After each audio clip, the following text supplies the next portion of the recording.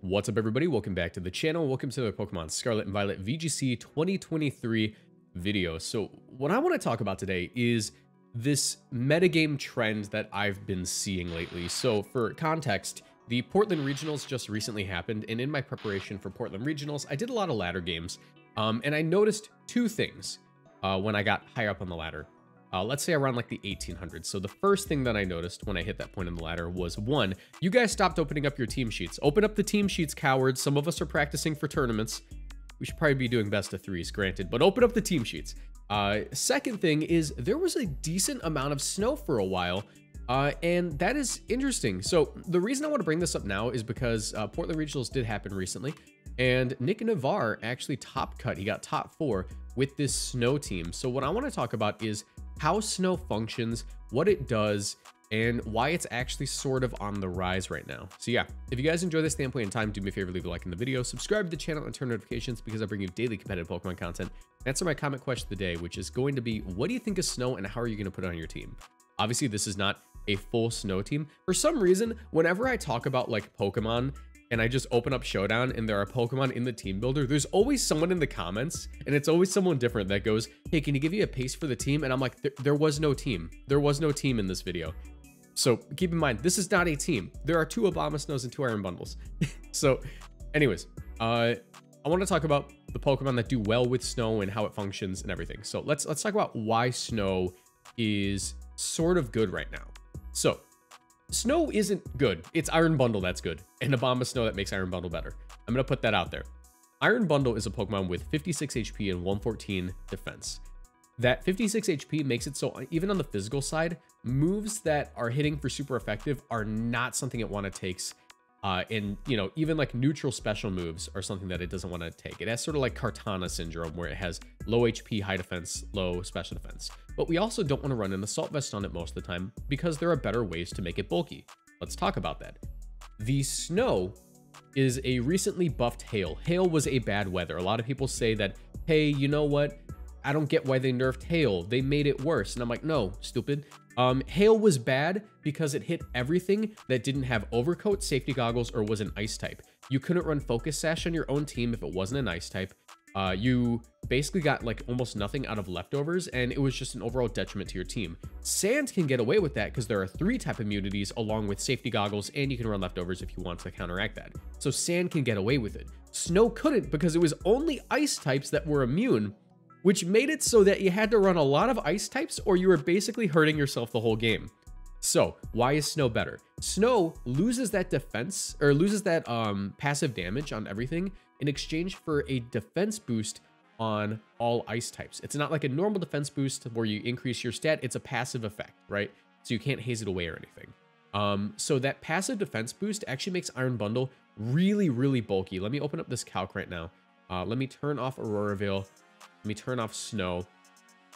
And let's open up, uh, let's get like an Iron Hands in here. Just Assault Vest, Iron Hands 236. Let me make this a little bit bigger for you guys so you can see.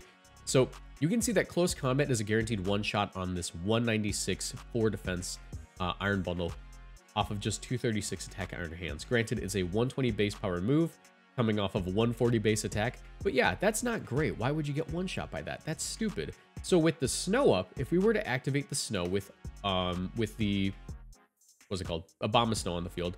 Now, that's actually a roll, a 50-50 to KO. So watch this damage just fall off. Not only does Iron Bundle have access to that snow boost, but it also has access to a very fast Aurora Veil. Now, there are different ways you could run the Iron Bundle. I like the booster energy set, but if you want to have a uh, a more like long-term plan for your game, if you want it to support the things in the back as well better, you can also switch over to the um, what's it called? Uh, to the light clay set, which will make it so that your Aurora Veil will last the entirety of the game, basically eight turns, which in VGC is a pretty long time. A lot of our games don't go much past like 10, if anything. Uh, so yeah, so it, it is a very, very long time. Basically the whole game, Iron Bundle will have this uh, Aurora Veil up to support it and its teammates. So if we were to run the Aurora Veil on an Iron Bundle and get that off, in the snow with Aurora Veil active, this close combat is doing 71% and wild charge is a roll in your favor to not to hit KO, meaning that you can go ahead and go for that. What was that? What was that? That was a 148 special attack Blizzard. Let's go ahead and give that, that investment. So 148 special attack Blizzard. Now, granted, this is Assault Vest Iron Hand, so it doesn't actually do that much. But versus a lot of other Pokemon, it does do quite a bit. And let's say it's like Tera Grass. Why not? Now you're doing 50%. So it's a strong move. Also, you can Tera, because a lot of these guys actually do run Tera um, Ice on them for the extra offensive bonus. So yeah, that is like one variant that you can run. You tend to run it next to like a Life Orb, Abomasnow, Blizzard, Leaf Storm, Tera Blast, Protect. Sometimes they're Focus Sash. But yeah, that, that is like one variant that you can run. But you can also switch it up where the Iron Bundle is actually holding the choice specs and you're running like, this is Nail set, but he was Blizzard, Hydro Pump, Sleep Talk, Freeze Dry. You obviously invest more into your special attack. And then you have the Focus Sash Abomasnow next to it. Uh, you put Aurora Veil in the Abomasnow because it's more reliable on that than, you know, your choice specs Iron Bundle, which will click Aurora Veil and then not click anything else. So yeah, and you can run like Energy Ball, Blizzard, Helping Hand. Helping Hand is obviously very good next to the uh, Iron Bundle with the choice specs because let's just go ahead and calc that. Let's throw, um, let's put a Actually, first I want to show you this. So Fluttermane with like choice specs, right? Choice specs, Fluttermane, max special attack, Moonblast with all these multipliers up actually doesn't one-shot you, and your Blizzard does like 50%. So you actually do outspeed it, so you get two Blizzards off, and you will beat like, you know, 4 HP or 4 special defense uh, Fluttermanes with this spread. And, you know, for less investment. Some of them run like 68 special attack or something. Um, then the Moonblast is doing even less, and your Dazzling Gleams are actually a roll in your favor to not even do a KO. So yeah, like it, it, makes Iron Bundle actually a really threatening Pokemon, and that's just the opener. Uh, but yeah, so for the special attack Iron Bundle, where you run like choice specs, if we calc that damage, give this guy choice specs. That Blizzard with Terastal is doing 80% to a 4 HP uh, or a 4 special defense Fluttermane, which is like one of the less bulky ones. But with a helping hand, it's a guaranteed one shot. Now, if we switch over to like the bulky ones that are running actually a decent amount here, they're actually usually like, I don't know, they usually run something like this. They hit like 170 speed. And then, where am I missing the EVs? 152. I think they decrease this. Yeah, they decrease the special attacks. Yeah, this is like the, the bulkiest that a Fluttermane will tend to be. 100 HP for special defense. Your Blizzard is still a one-shot. That is a very scary thing to do, especially considering that Timid Iron Bundle will always outspeed a Timid Fluttermane. Um, so yeah, that is a very powerful combination to have. It is scary, and having 100% accurate Blizzards is just one of the most threatening things ever. Uh, Nails also did slot Sleep Talk onto his Iron Bundle because what it allows him to do is with that Choice Specs item, if he swaps in on a Spore, he's not helpless. He can actually go ahead and just click the Sleep Talk and it'll select a random move. Uh, and it'll select a different move each time. So Sleep Talk, he gets a Blizzard. Sleep Talk, he gets a Freeze Dry. Sleep Talk, he gets a Hydro Pump. It's a very scary thing to do. Like I said, Iron Bundle is sort of a mixture of a support mon or like a straight up offense mon. Abomasnow is there almost entirely out of necessity, but it also is pretty bulky. Like I mentioned, Iron Bundle has that 56 HP, 114 uh, physical defense, and 60 special defense. Abomasnow is a little bit more well-rounded with 90 HP, 75 defense, 1 uh, and 85 uh, special defense, and they do tend to max out their HP stat, so it does become a very bulky Pokemon that is difficult to KO. Um, and they do tend to run Tera Water, so while you will lose that uh, Ice-type defense boost, uh, you do get a better defensive typing in exchange if you decide to Tera. Uh, and I do like Tera Blast on my Abomasnow personally when I run this sort of archetype because it allows me to beat out things like Arcanine uh, by swapping over to that water type and then one-shotting it with a Life Orb Water move. So yeah, uh, that is very powerful and I enjoy running that. I think it is a fun thing to do. So why is this such a strong opener? Well, it's because there are a lot of Pokemon that are really good right now that are super hyper offensive that lack physical defense. Um, when I tend to run these Pokemon, I like to run them with like Gyarados and Wo-Chien because I enjoy having like a go mode on my stall teams. Uh, and Wo-Chien provides that passive uh, physical defense bonus basically, or you know, it drops everything's attack stat, but it provides like a physical defense bonus to everything around it. Iron Bundle does the same thing for these Pokemon, uh, and arguably more effectively because it doesn't have to be on the field with it for it to work. Chi Yu is a very strong partner for Iron Bundle because not only does it like boost the Iron Bundle damage with the uh, Blizzard and Tera Ice uh, and Beads of Ruin active because it drops everything special defense stat, but also it is a Pokemon that lacks physical defense. 55 HP, 80 defense isn't very bulky. It's actually quite frail. And on the special defensive side, it's it's like not the bulkiest, but it is decently bulky. What the Aurora Veil allows for Chi-Yu to do is you can actually just reliably go for like nasty plots and KO things, especially on variants of this team where um, you actually like drop one of these moves for Icy Wind. It makes Chi-Yu super threatening because you can go with like a bulkier citrus Berry spread. Let's say you just hit like the, the bump, right? Let's say you hit, a lot of people ask what the bump is. So you see how it's at 185 at 108. If we invest it the 116, it goes to 187. We skip 186. That's what the bump is for everyone who asks. Uh, and then you just hit like 143 speed. So you outspeed like basically everything, and then you can put the rest in like your bulk or whatever. Um, this makes it so that your Chi-Yu behind screens is actually fairly bulky. You can go for like these nasty plots and then like Icy Wind and Heat Wave. Uh, and it's just like a really strong combination of Pokemon. Fluttermane is also very similar. Like I had mentioned, a lot of Fluttermane do run choice specs with a super bulky spread. Now, Fluttermane, despite being deceptively physically defensive when you invest heavily into it with, you know, max defense and 100 HP, which is a very common spread right now.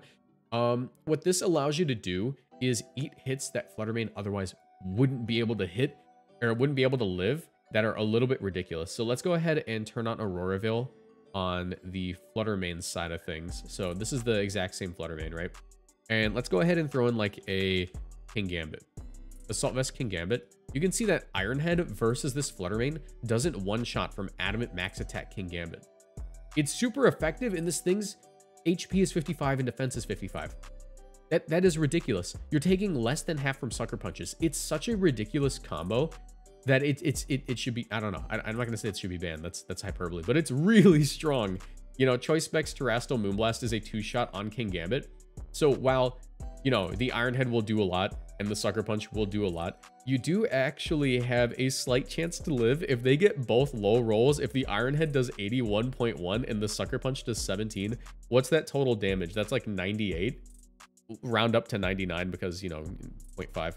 Um, you technically have a chance to win that 1v1. It's really funny. It's unlikely, but it's something I want to point out. It's so stupid. So yeah, that's basically what Iron Bundle does for um, this metagame. Is it, it, will run like this Abomasnow Iron Bundle lead with hyper offensive Pokemon in the back that lack physical defense and just go all in for the rest of the game. It's like super scary. If we look at Nail's team, he actually doesn't have a Chi-Yu, but he does have some hyper offensive Pokemon. The Fluttermane, I would say, is the main benefactor of this um, Aurora Veil, but also notice that there is a Choice Band Multi-Scale Dragonite.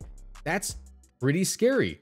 Um, multi-scale Dragonite's already really difficult to KO, but when like your first attack is doing what, 2 HP to the multi-scale plus like Aurora Veil combo, that's like super threatening. King Gambit is also a Pokemon that is super, super bulky, especially with an Assault Vest. Now, with the Aurora Veil up, how much would this King Gambit take from like a low kick? I'm actually really curious. Hold on. Let me pull up the damage calc. So let's throw a, well, I guess we just have this random King Gambit here. Let's give it Aurora Veil and let's put like, I don't know, Tyranitar with like a low kick right? Tera Flying AV, low kick. Bam. Your King Gambit lives low kicks. Not even with max HP. Like this is like a non-max HP King Gambit taking a low kick. That's stupid.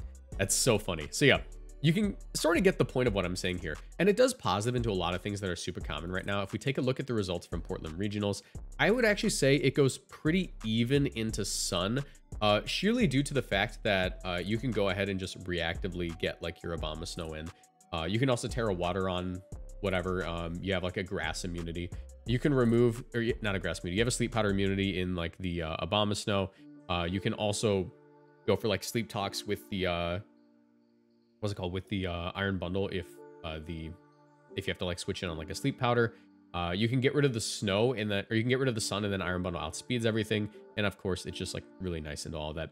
Uh, into the Dondozo archetypes, it's actually really positive still because Dondozo, if it doesn't burn its tera and a lot of them are tera Grass right now anyway, so it doesn't really matter. But um, if they stay water or grass, your freeze dries with the Chi-Yu on the field actually do a ton of damage.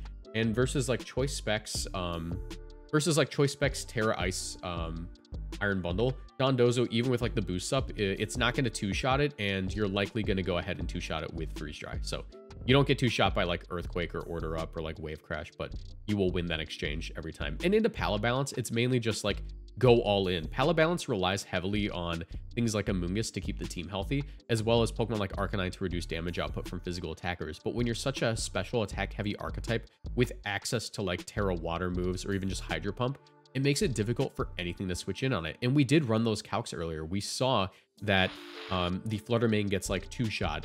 Uh, obviously, Palafin does not eat a Choice Specs freeze dry from Tera Ice uh, Iron Bundle. It, it's basically just like hyper offense, and it makes it really difficult for things to keep up with it. And I guess that's why Nails was so successful in this tournament. So yeah, that was just a brief breakdown as to why Iron Bundle and Abomasnow are the uh, hip nuke hits on the block. And yeah, uh, if you have any questions, you know, make sure you leave them down below. If you enjoyed, leave a like, subscribe, and I'll see you in the next one. Bye.